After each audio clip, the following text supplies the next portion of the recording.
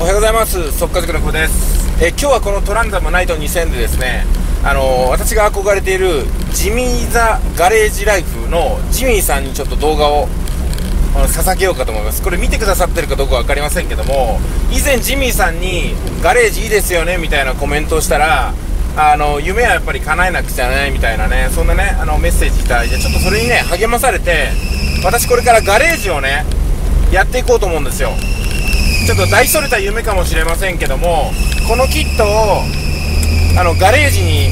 入れてですね大好きなあのそのものをねジミーさんみたいにそのガレージにいっぱい詰め込みたいんですよ。でまずはガレージライフ始めるときにガレージがないといけないじゃないですか。私はてっきりね自分の家の庭を改造して作るすごい大きな夢だなと思ったんですよ。でも探したら近くに土地とかテナントとかガレージを貸してくれるとこってあるんですよね、まあ、ですんで今日はあのー、そのねガレージ近一番近所にあるんじゃないかなと思われるようなガレージに使えそうな土地と店舗を見に行こうかと思うんですよ。うん実際にそこをね貸してくれるのかこんな車入れていいのかどうか近所の方との関係はどうなのかとかねあと費用はどうなのかとかいろいろ考えないといけないところあると思います。まあでもねやっぱり男の子として生まれてきて何かね夢や希望があるんだったらそれを無視して生きていくことはできないかなみたいなねちょっと強がりをずっと感じまして私ちょっとガレージをね作れないかどうか挑戦してみようかと思うんですよ。えー、本当にナイト2000のトランザムを維持するだけでも手に余ってるのにこの上にねガレージを持っていいのかなとか思いますけどもたとえ1日だとしてもたとえ1日しか持てないとしてもその1日のためにね私は全てを注ぎ込んでいこうかなと思います。ですんでこれからちょっとガレージを見に行こうかと思いますね。道込んでますね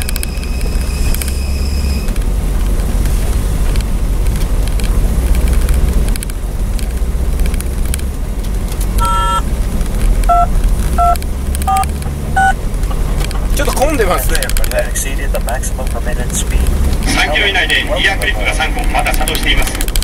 作動してるらしいです。ちょっと行ってきます。じゃあ一旦動画を止めます。これデジカメなんで電池がすぐ切れちゃうんですよ。すいません。ちなみになんですけどもこのナイトにはドリンクホルダーとか荷物を置くところとか一切ないんですよ。ですんで助手席のシートにいろいろ置くようになるんですよね。だからこれね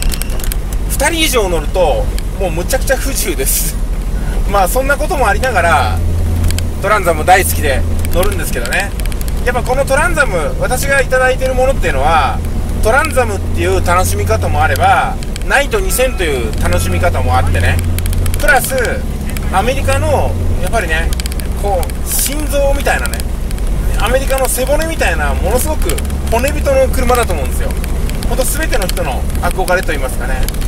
そういったいろんな面を楽しめるところが私はすごく好きだなと思います。今日は乗ってますけども本当にね数週間ぶりですね。23週間ぶりに乗ります。月に1回乗るかどうかみたいなペースになってきました。でも非常に満足です。あのー、これがね私の家のガレージにあるってことだけでものすごくエネルギーとモチベーションいただけるんですよ。毎日の暮らしが潤うのも、まあ、こうやってねトランザムがいてくれるおかげかなと思います。皆さんにもそんなものってあると思うんですよね。ああまたお見えです。みたいなね。その会話。じゃあすいません。やっぱりこの T バールーフの開放感そこからちょっと見えにくいと思いますけど今 T バールーフ外した状態でオープンカー仕様にしてるんですよね。やっぱりジミーさんが言われるようにこのトランザムの T バルーフの開放感っていうのはやっぱオープンカーでもないしそれからあのサンルーフでもないし独特のねなんかこうクオリティがあるなと思います。非常にこう自分だけに設けられた部屋みたいな感じがしてね、えー、とっても嬉しいなと思います。じゃあガレージまでもうちょっとなんでもうちょっと待ってくださいね、えー、我が家からやっぱり10分ぐらいのところにあるんですよ。ちょうどいい距離かなと思います。では行ってきます。到着です。そこにはね JR の駅もあるんですよこれから交差点曲がって入っていくところです。あ国道2号線なんでものすごい車が通りますね。で信号待ちしてるとここにね運転席隣の車の運転席来るんですよ。で主固有の生体反応をキャッチしました。こうやって押すとねひょっとするみたいなところが面白いですけどね。あこれ信号いけるかな？あいけたいけた。よかった。もうすぐ目的地なんですけども電池が持つかな？デジカメのバッテリーって本当ね録画してるとすぐ切れるんですよ。いやでも本当に嬉しいな。こうやってナイト2000と走れる。うんとっても楽しい。燃費は悪い。機嫌が悪い。あもうガソリン切れそうですよ。ああそこだ。もうちょっと行くと目的地なんですね。で皆さんもこうやってドライブすることあると思うんですけども、まあ、今回ね久々にね目的地がありますね。普段はただ走らせるだけのナイト2000なんですけども今回はこのキットのね新しいねぐらになるかもしれませんのでね。この辺かな？あここだここだ。ちょっとここを曲がってすぐみたいです。えーと4トン車が行くんで多分これも通るでしょうあ到着ですね。あそこだと思いますあそこ。えーと病院のそばかな。ここですね。お板車がある。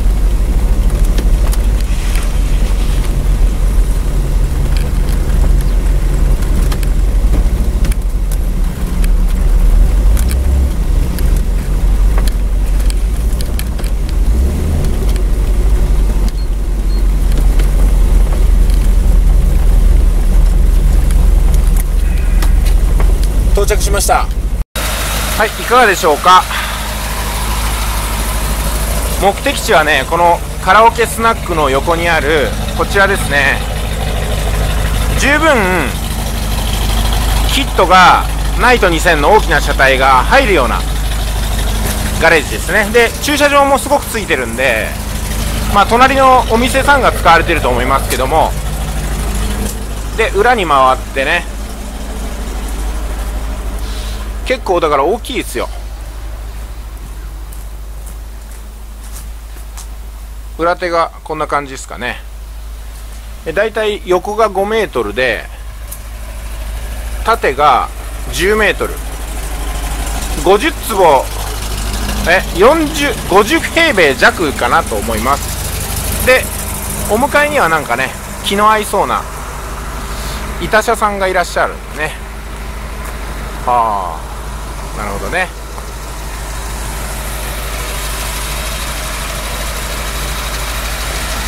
どうですかねここ。はい。ではこちらのガレージを交渉できるかどうか、まあ、見てみるところとあとは毎月のランニングコストとかねそれから中に設備とかそれから多少は突貫工事しないといけないと思いますんで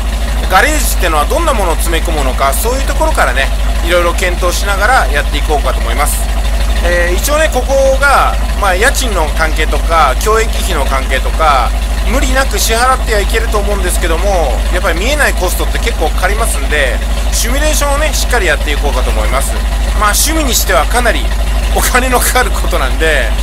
でもた例えばね1日だけでも実現できればいいやっていう気持ちで私やります。躊躇して一生やらないよりも思い切ってやってみてでダメになったらまたやめればいいっていう考えですね。皆さんもね夢の実現とかそれは目的とか目標とかねなんかねロマンってのを追い求めるような日々があるといいですねそれではまたお会いしましょう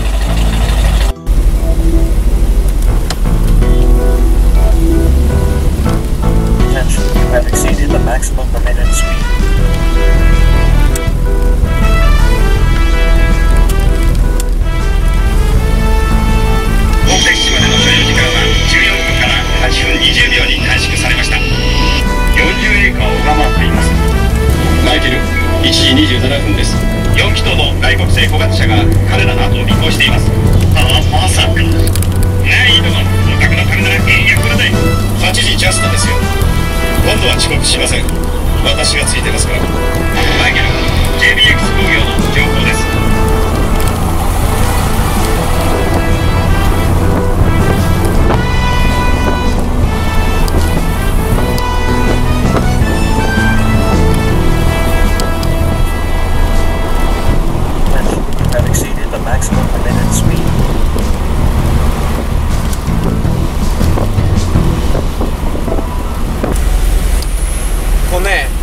号待ちで左折とか右折するじゃないですか。そうすると対向車の方がやっぱりね見ますね。ここをね。でこちらの方は運転席がよく見えるんですよ。まあ見られてる感がいいかなと思います。でこうやって信号待ちするときがね結構至福の時ですね。こちらの方からも見えるしこちらの正面行き過ぎる方からも見えますし追い抜いていく方からも見えるんですよね。で後ろの方もなんだろうこりゃみたいな感じでうっすらとこの辺見えるんですよ。あだいぶ日が出てきたんでちょっとあの暖かくなってきたというか日差しが強くなってきましたね。そろそろ帰ります。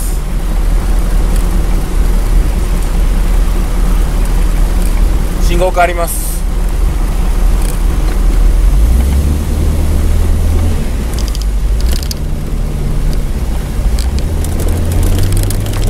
だいぶね車幅感覚もつかめてきたんで本当これセルシオよりもちっちゃいぐらいだと思いますんで、うん、そうですね車高の低さも慣れてきたのとあとまあエンジンとブレーキですかねこのバランスがだいぶつかめてくると、まあ、楽な感じがするかなってところですね。で基本的には積極的に道は譲った方がいいですね。やっぱ目立つ車なんでこれが乱暴にしてるとあああの車のオーナーは乱暴だなとかトランザムとかアメ車は雰囲気悪いなってなると他のオーナーさんにも迷惑かかっちゃいますんで煽り運転なんてとんでもないですよね。よく私のもう1台持ってるあのベルファイアとかアルファードってのがなんかねそのやからが乗ってるっていう風なねそんな先入観を持たれるのもあの系の車の人がそういうことをやるとそういう風な先入観ついちゃうかなと思いますんで私はもうあのベルファイアの方はねすごくおとなしくおとなしく譲り合ってもう追い越しなんてしないみたいな感じで乗ってます。もちろんクラシックも鳴らしたことないですし本当にねなんかその車っていうのは中の人が見えませんけども車の乗り方が人格をよく示すと思うんですよ。そのパーツとかねデコレーションとかインテリアとかエクステリアっていうのが全てオーナーさんの人格かと思いますんでやっぱりね悪い人に見られるよりはいい人に見られた方がいいかなと思うんですけども皆さんいかがお感じでしょうか？暑い。頭が焼けそうになってきました。やっぱ真夏のティーバールーフ解除は危険ですね。暑い。マイケル5時にはフェニックスに行かなくてはいけないのですが。こうね信号待ちまた始まったんですけどもこちらから流れてくる方とあとこちらからね追い抜いていく方やっぱ反応は同じで、まあ、これを期待して持ってる面もありますから乗ってる面もありますんでね。だからやっぱこうアメ車って自分も好きだし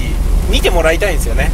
最初のセルシオ買った時も見てもらいたかったんですけどもなんせセルシオの販売から10年以上経ってたんでもうありふれちゃってあんまり目立たなかったんですよ。今はねやっぱこの田舎町ではアメ車ってのも珍しいですしナイト2000のネブリカも難しいしあの珍しいしまあ旧車っていうんですかちょっと古いタイプのティーバルフを外した車っていうのはとっても特徴的だと思うんですよ、まあ、だからねいろんな方にこう見ていただいて後ろ指さしていただいて、まあ、楽しんでいただいてね。であ近所にもああいう車あるんだみたいなね。あの人はどんな人だろうみたいな感じで、えー、考えていただければまあいいかなっていうか自由なんですけど別に。ただやっぱねなんか男の子としては私の考えとしては草むらで生きるよりも荒野で生きていきたいかなと思うんですよ。草むらの中にこうやって身を隠すよりも荒野に身をさらしてね炎天下の中もう戦い抜いていきたいかなと。戦いたくないですけどもね。心だけはちょっとファイティングポーズをとっていたいなと思うんですよ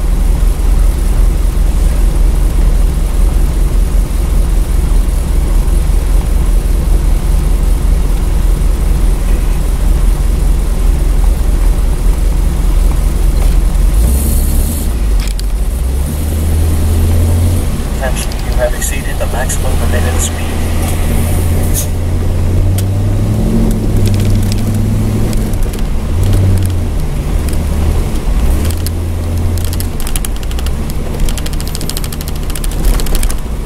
15メートルは空いてますよマイケル35センチもある強化コンクリートです。IC 集積回路のぎっしり詰まったところからです。1982年に交通違反で罰金を払ったことが一度あるだけです。マシンガンに6トンを超す鋼鉄の塊だけです。どう戦います。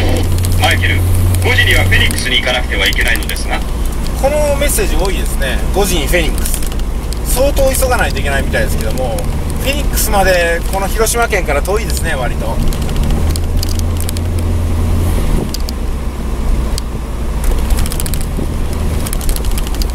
いー楽しい。やっぱ楽しいですわ。ドライブがこんなに楽しいのはナイトライダー全シリーズ見てるからかなと思います。そしてですねナイトライダーファンとの関わりがあったり同じトランザムオーナーさんね面識が違ってもトランザムのオーナーさんが世界世界っていうか日本にねいっぱいいらっしゃってでお互いをこう何て言うんですかね励まし合ってるっていうのか何ていうのかな尊重し合ってるっていうのがまあすごくいいあの私はまだお会いしたことないんですけども他のトランザムオーナーさんには。すごくいいチームがあると思うんですよね、まあ、もちろんトランザムだけではなくてあらゆるものにいい人いいチームあると思いますけどもそれがね自分の大好きなこの関わりで集まれたらなんといいことでしょうと思うわけですよ。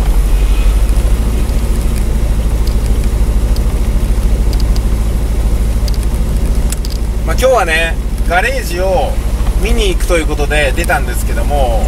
思わずいろいろ喋っちゃいましてあのすいません。あのお楽しみいただければ幸いなんですけどももしかしたらね自分のトランザのイメージはこうだとかあのナイト2000の自分の持ってるイメージはこうなんで世界観を壊さないでほしいみたいな方もいるかもしれませんけどもそこはすいません。あの私の楽しみ方をやらせていただいてご容赦いただければと思います。よろしくお願いします。